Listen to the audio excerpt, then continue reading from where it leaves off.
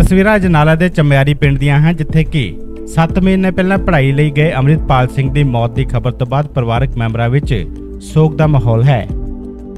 ਮ੍ਰਿਤਕ ਅੰਮ੍ਰਿਤਪਾਲ ਦੇ ਪਿਤਾ ਨੇ ਦੱਸਿਆ ਹੈ ਕਿ 7 ਮਹੀਨੇ ਪਹਿਲਾਂ ਹੀ ਉਹਨਾਂ ਨੇ ਕਰਜ਼ਾ ਚੁੱਕ ਕੇ ਆਪਣੇ ਪੁੱਤ ਨੂੰ ਚੰਗੇ ਭਵਿੱਖ ਦੇ ਲਈ, ਪੜ੍ਹਾਈ ਕਰਨ ਦੇ ਲਈ ਲੈਸਟਰ, ਇੰਗਲੈਂਡ ਭੇਜਿਆ ਸੀ, ਜਿੱਥੇ ਉਸ ਨੂੰ ਕੁਝ ਦਿਨ ਪਹਿਲਾਂ ਨਮੋਨੀਆ ਦੀ ਸ਼ਿਕਾਇਤ ਹੋਈ ਅਤੇ ਹਸਪਤਾਲ ਦੇ ਵਿੱਚ ਉਹ ਜੇਰੇ ਇਲਾਜ ਵੀ ਰਿਹਾ, ਪਰ ਹੁਣ ਉਸ ਦੀ ਮੌਤ ਹੋਈ ਹੈ।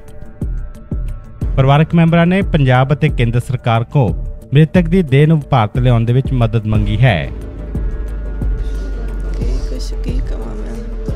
ਕਦੋਂ ਗੱਲ ਹੋਈ ਆਖਰੀ ਵਾਰੀ ਐਤਵਾਰ ਹੋਈ ਹੈ 4 ਵਜੇ। ਕੀ ਕਿਹਾ ਸੀ ਉਹਨੇ ਵਧੀਆ ਠੀਕ ਠਾਕ ਵਧੀਆ ਗੱਲਾਂ ਕਰਦਾ ਰਿਹਾ।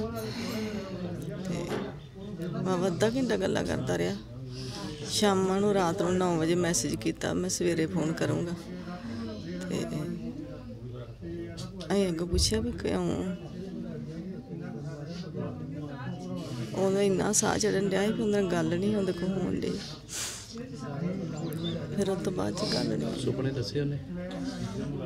ਸੁਪਨੇ ਇੱਥੋਂ ਤਾਂ ਬੜੇ ਚਾਵਾਂ ਨਾਲ ਗਿਆ ਸੀ ਵਧੀਆ ਗਿਆ ਸੀ ਹੁਣ ਉੱਥੇ ਤੇ ਮੈਂ ਟੈਨਸ਼ਨ ਪਤਾ ਨਹੀਂ ਕੀ ਗੱਲ ਬਣੀ ਕੀ ਨਹੀਂ ਪਤਾ ਨਹੀਂ।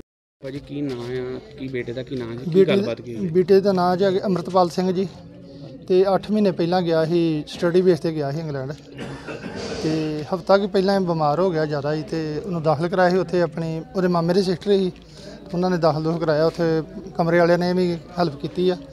ਉਸ ਤੋਂ ਬਾਅਦ ਅੱਜ ਸਾਨੂੰ ਦੁਪਹਿਰੇ ਜੀ ਪਤਾ ਲੱਗਾ 11 12 ਵਜੇ ਵੀ ਡੈਥ ਹੋ ਗਈ ਆ। ਕਿਸ ਤਰੀਕੇ ਨਾਲ ਕੀ ਕਾਰਨ ਸੀ? ਇਹ ਉਹ ਨਮੂਨੀਆ ਹੋ ਗਿਆ ਜੀ ਨਮੂਨੀਆ ਹੀ ਜ਼ਿਆਦਾ ਤੇ ਬੱਚਿਆਂ ਦੇ ਪ੍ਰੈਸ਼ਰ ਹੀ ਜ਼ਿਆਦਾ ਇੰਨਾ ਹੋ ਗਿਆ ਕਿ ਕੰਮ ਮਿਲਦੇ ਨਹੀਂਗੇ ਤੇ ਪ੍ਰੈਸ਼ਰ ਜ਼ਿਆਦਾ ਹੋ ਗਿਆ ਬੱਚਿਆਂ ਨੂੰ। ਅਸੀਂ ਵੇਖੋ ਵੇਖੀ ਭੇਜੀ ਜਾਂਦੇ ਬਾਹਰ ਪਰ ਮੁਸ਼ਕਲ ਲਾਤੇ ਆ ਬਾਹਰਾਂ ਦੇ ਵੀ।